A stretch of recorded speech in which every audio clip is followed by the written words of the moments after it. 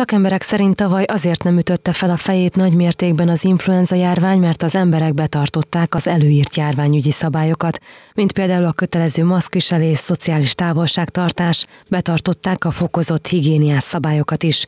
Így működtek a védekezési mechanizmusok, ki lehetett védeni a járvány elterjedését. Idén, mivel ugye sokkal kevesebb korlátozásra lehet számítani, legalábbis egyelőre, így azért benne van a pakliban, hogy egy jóval erősebb influenza járvány fogja felütni a fejét.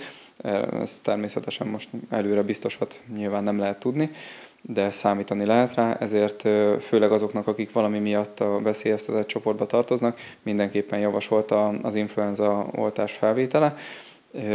Már csak amiatt is, mert hogyha valaki szerencsétlen módon egyszerre kapja el mondjuk mind a kétféle fertőzést, akkor nyilván a szövődmények kialakulásának a kockázata sokkal-sokkal magasabb lesz. Arra kell viszont odafigyelni, hogy az influenza védőoltást azt legalább négy héttel a koronavírus oltás felvétele után tegyük meg. Az influenza elleni oltást mindenkinek javasolt felvenni, függetlenül attól, hogy van-e bármiféle krónikus betegsége. Azok számára, akik krónikus légzőszervi betegségben szenvednek, az idősebb korosztályba tartozók, illetve akik valami miatt immungyengék, azoknak feltétlenül szükséges az oltás felvétele, tanácsolja az orvos. Az lenne jó, hogyha mindenki, aki, aki megteheti, tehát akinek a második oltáshoz képest már eltelt a négy hónap, azok, azok már most vegyék fel a, a harmadik védőoltást a koronavírus ellen, és mire megérkezik az országba az influenza ellen védőoltás, akkor ők már azt is fel fogják tudni venni. Általában ugye azért az ilyen november környéke szokott lenni.